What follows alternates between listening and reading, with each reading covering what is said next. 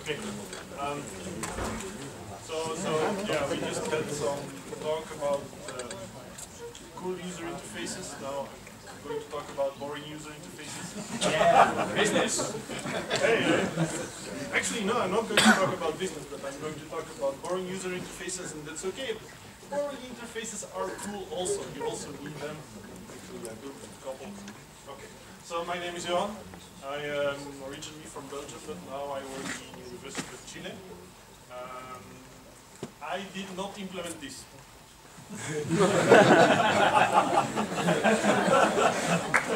It's okay. So, yeah, yeah. so why am I here? Um, it's a long story. Basically, I was interested because I wanted to have something like this because in my research, etc., etc. This was implemented by Ben with close su- supervision by Steph. Um, and at some point, they needed to work on the documentation effort. I wanted to learn about this, so I said, okay, let me help. Let me help in documenting. That's why we wrote um, some documentation. And then Steph asked me to present, so okay. so, so, okay. Boring stuff. Yeah, okay, so what am I talking about when, when, when I want to talk about spec? What's the kind of user interfaces that you're going to build when you're going to use spec? Um, let's show some examples. So you see the kind of user interfaces that, that I'm talking about, right? These just standard widgets, buttons, lists, uh, little menus, you know, boring user interfaces. But we need them anyway, right? We need to write stuff like this, we need to use stuff like this all of the time, okay? So, of all of this, three I wrote myself. All of the rest is already in, in the image. So I opened the 504 image the day before yesterday and I started taking screenshots. So of this is in there. So it's already used and you can use it of. Before I want to talk about how to build stuff in spec, I first want to talk a bit about a fundamental keystone of spec. And the fundamental keystone of spec is reuse. Spec was built keeping in mind fundamentally that we should be able to reuse. We should be able to reuse user interfaces. How is this done? Every widget that you have in your user interface, every widget is already a complete user interface, and every user interface that you make can be reused as a widget. A widget is a full user interface, and a user interface that you build can be reused as a widget. Standard. What do I mean? Let's make a stupid example. A drop list. You know, you click on this, the list opens. How do you make a drop list? This is how you instantiate one in spec. This is how you can set the items. So this is my full affiliation. And then you have a widget, but actually this widget is a full user interface. So if I send it open with spec, I have a window with a full user interface. It Doesn't do anything, but it's a full user interface. Every widget, send it open with spec, gives you a complete user interface. The other way around, this is one that I built for my research. This is a full user interface, but what do I do? New, same message, open with spec. And when I do that, I get something like this. We'll talk a bit more about that later. Every widget is a full user interface, every full user interface is a widget, which means that every user interface that you're going to build, by default, it's reusable. Okay? This means when you build a user interface, somebody else can take it, reuse it, integrate it in something else. So when I am building a user interface, or when I am reusing an interface, it's important to know how to configure it. Here I make this example with this drop list model. and I send it the items message to be able to set the items in the drop list. Okay. How do I, as somebody who reuses an existing widget or user interface, know what are the methods that I can use to configure it? How did I find out that it's the items message? Okay, yeah, by the name it makes sense that it should be items, but we have to be a bit more structured like that. We need to know how we can configure this kind of stuff. So there is a standard way of doing things, which is to put the public API of how you configure a widget in protocol and protocol events. Now, if you have a look at all the standard widgets which are inside of spec, which is much more than this, you will see they have this classified, and all of these methods are documented. So if you want to build a user interface in spec and you want to reuse a widget and you don't know how to use it, you look there, look at the methods, the methods are documented. I think this is fundamental for you to know because the documentation can become out of date with the implementation, but the implementation is the implementation. So you can always look there to get the most up-to-date information. Okay, end of philosophy for now. Let's build a user interface. That's what we're here for. Let's build this user interface. No, this user interface is too big. Let's build this user interface. So what's this? This is actually the user interface for a work that I'm doing together with a PhD student. So the point of this research is to build a language for robots. There will be a demo this afternoon. And the point of the language, the user interface is important, but I don't want to spend all my time on the user interface. We want to talk about the language, we want to talk about presentation, etc., etc. So we use spec to build a user interface for the entire IDE. So the entire IDE for my programming language is built using spec. Okay. So what is this? This is basically a text editor. Okay.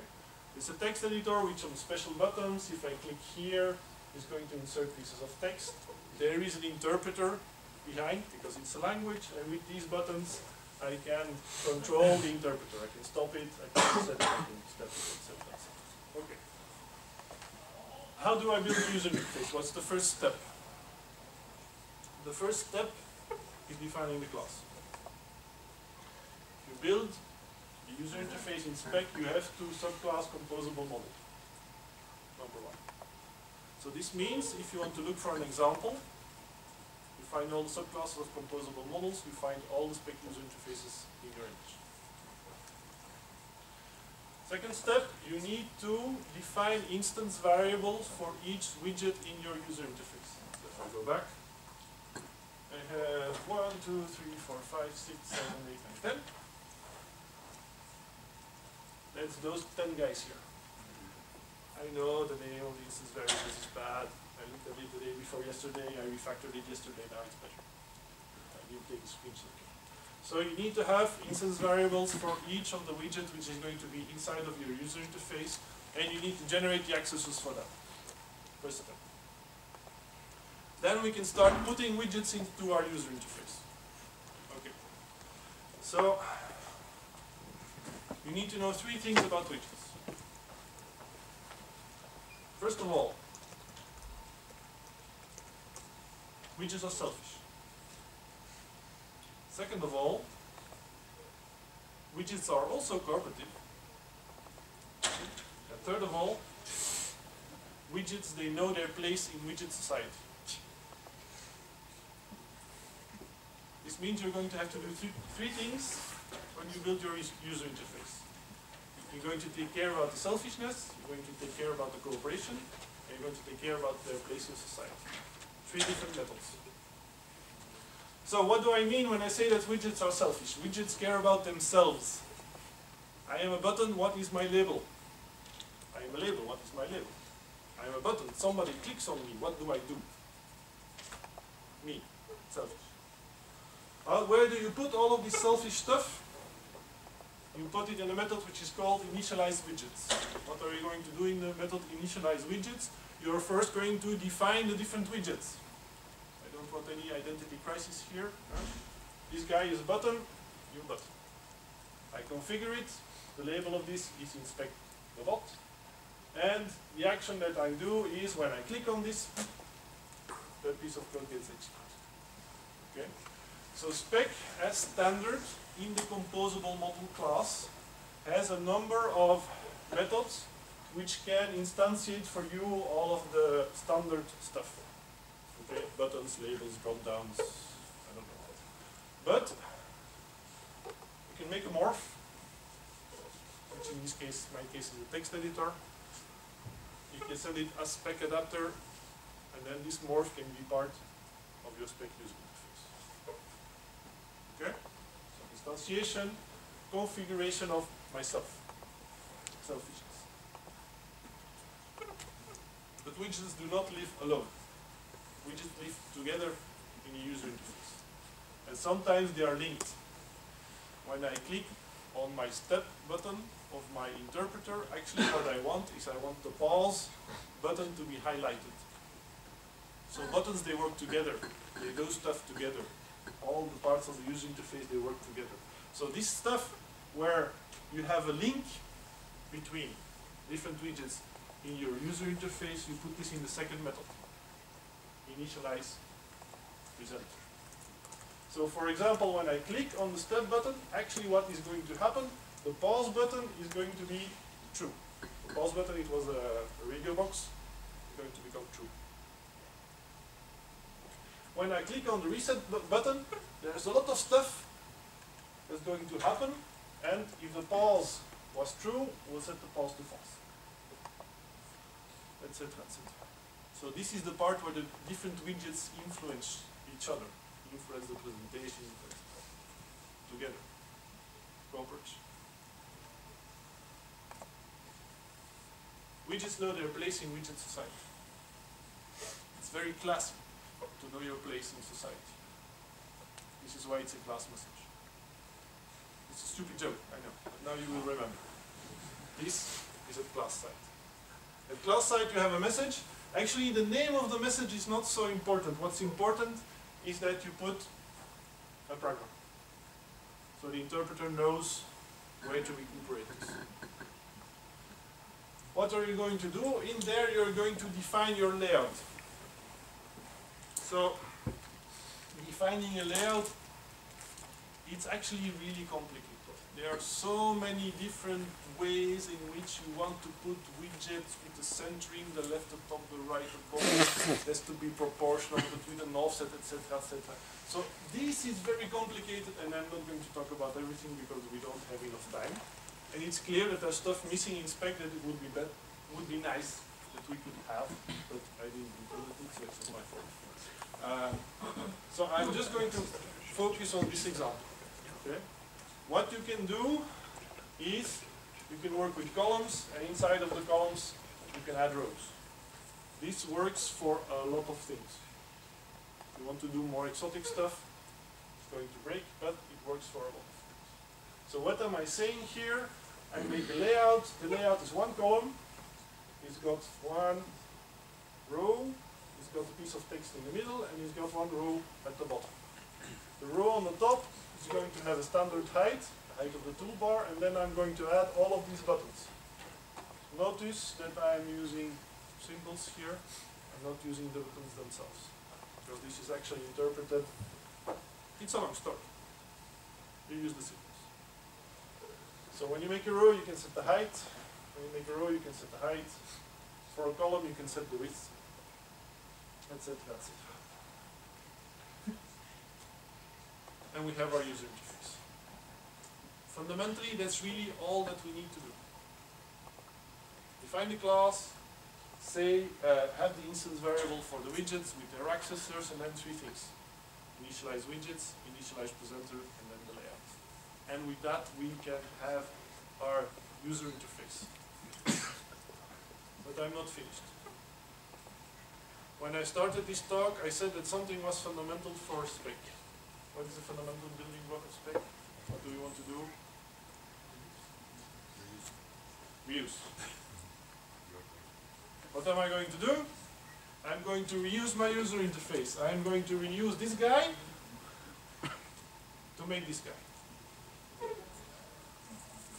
Because this thing is the thing that we built. And then we can build all of this and just put it together. This is the first time anybody felt during my presentation. Okay, so when I make a widget, by default it's reusable. But what I can do, I can help people that want to reuse it. How do I help it? I define a public API for it.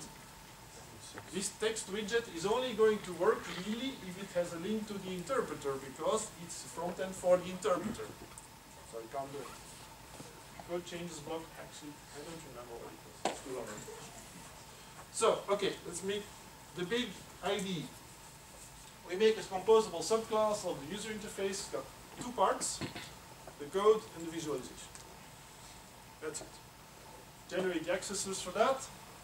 Then, there are three things that we need to take into account when you think about widgets. Widgets are selfish, widgets are cooperative, widgets know their place in society. This is all that I need to do. Left hand side, right hand side, and set some, um, let the visualization pane know the code pane. So these two widgets that I made, this is the one I made earlier. This is the one I'm going to show in detail.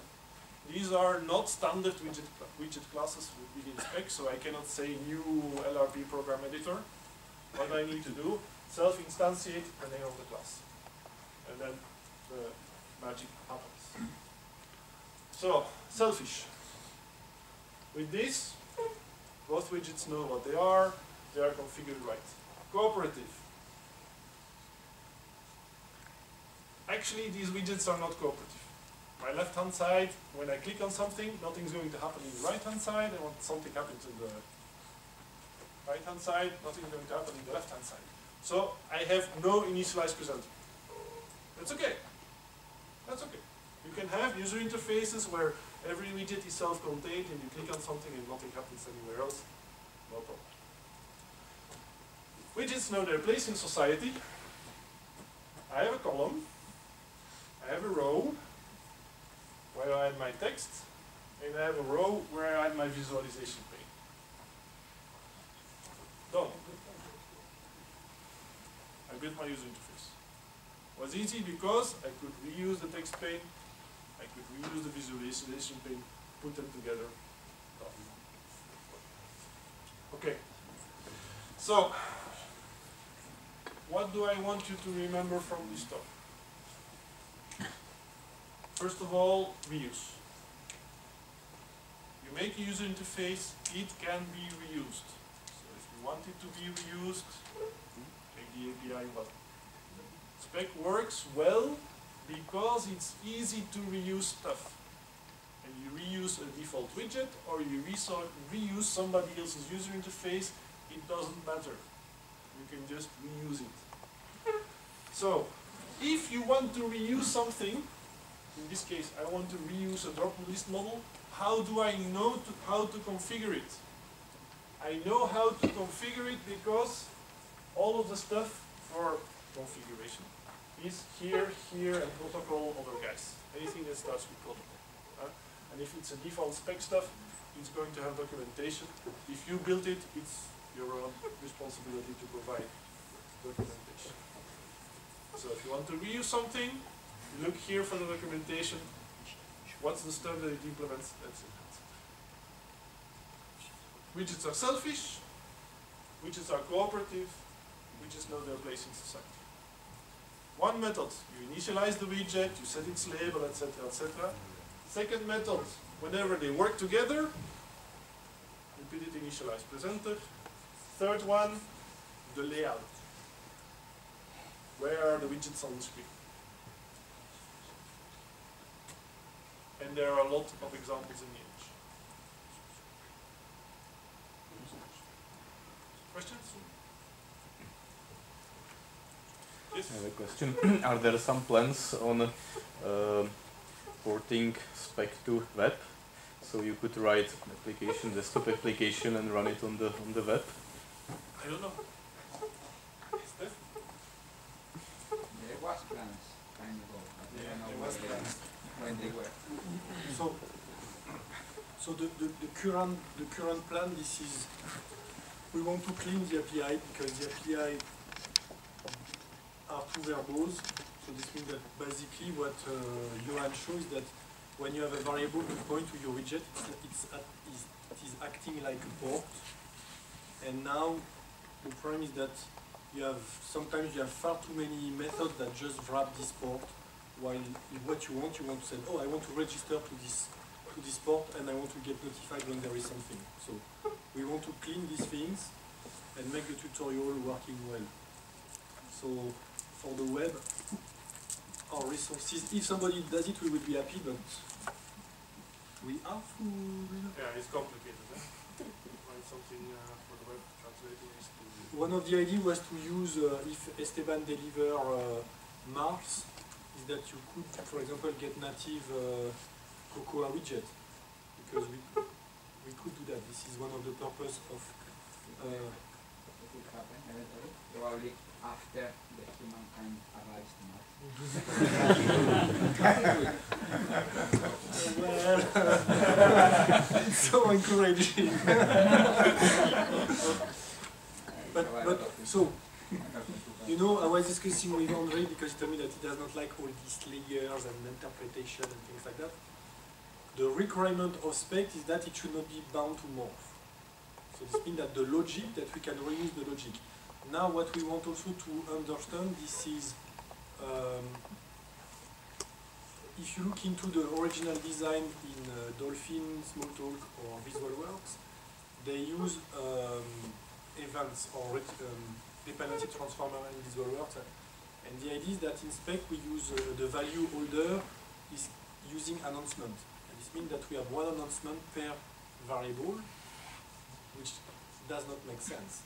So this means that we were thinking maybe the comp the composite model, the application model should be the guy that holds the announcer, so we should revise these kinds of things. And maybe if a slot tomorrow uh, can solve this, this issue nicely, we will migrate to slot. So, this is more in that direction. What we would like, I would really like to, we will synchronize with uh, Johan, but I would like to have a kind of little booklet because we have several chapters and probably also with uh, Stefan because he wrote something on dynamic spec that was never integrated into the doc. So we would like to rethink a bit that and if we do that this year, we will be really happy. So they're talking about dynamic stuff. There, there is a way to do dynamic stuff in spec. You can change the layout of your existing user interface. You can add widgets. You can remove widgets while it's running. But due to time constraints, it's not here. Um, so what we have, the text that we're, we're going to put in the booklet, it's already online, and it contains a lot of information, much more than just simply what I said here. You can also have a look at that. Cool.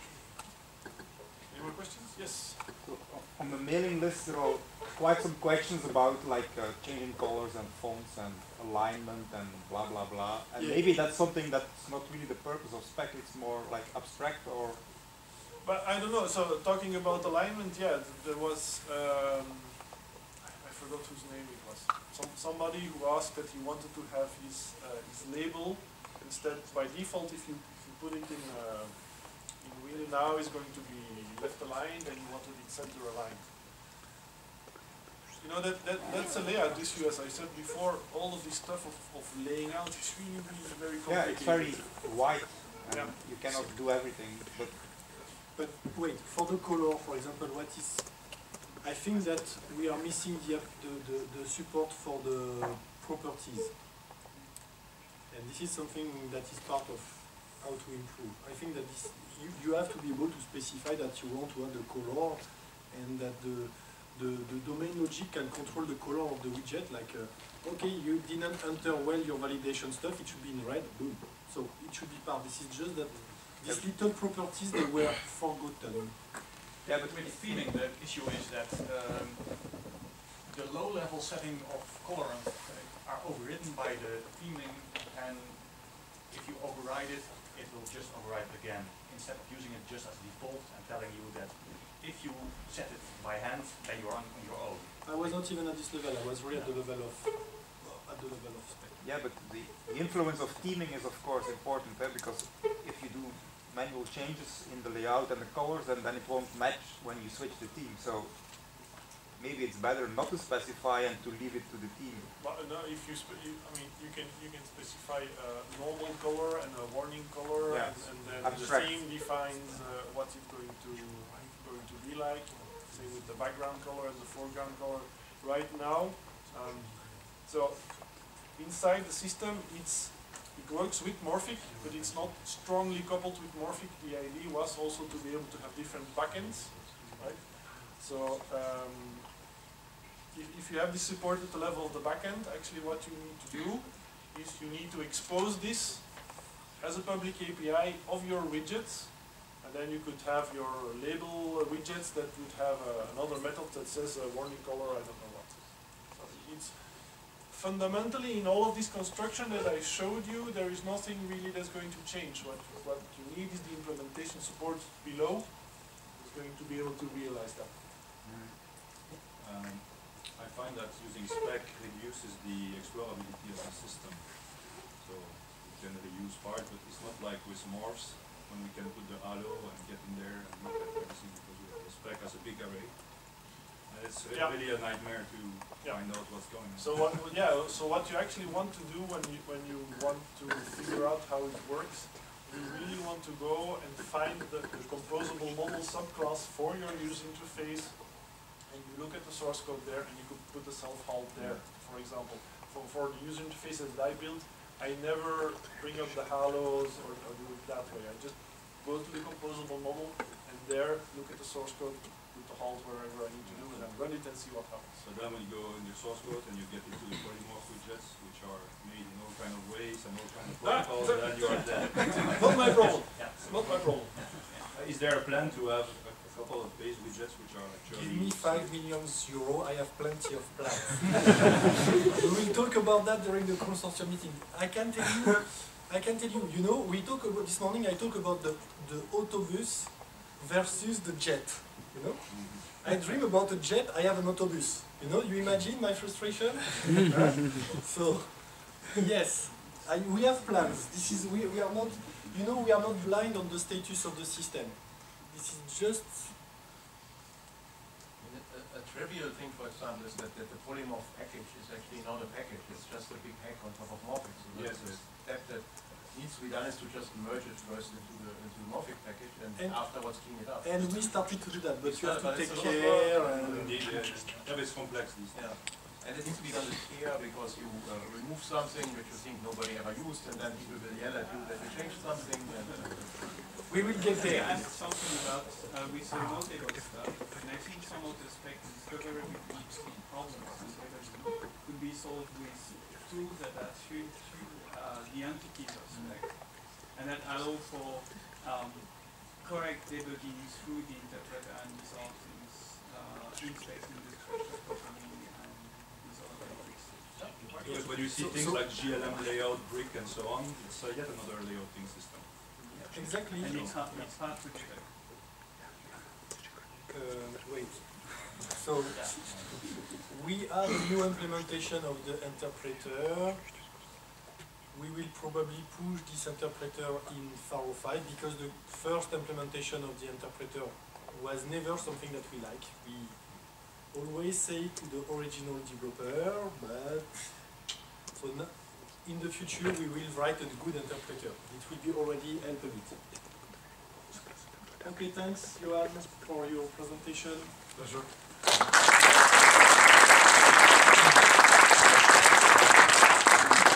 I forgot to give that during the GT demo uh, presentation. This is a gift for Doru because he cannot find in Switzerland uh, Reglis. Huh? So I was shopping and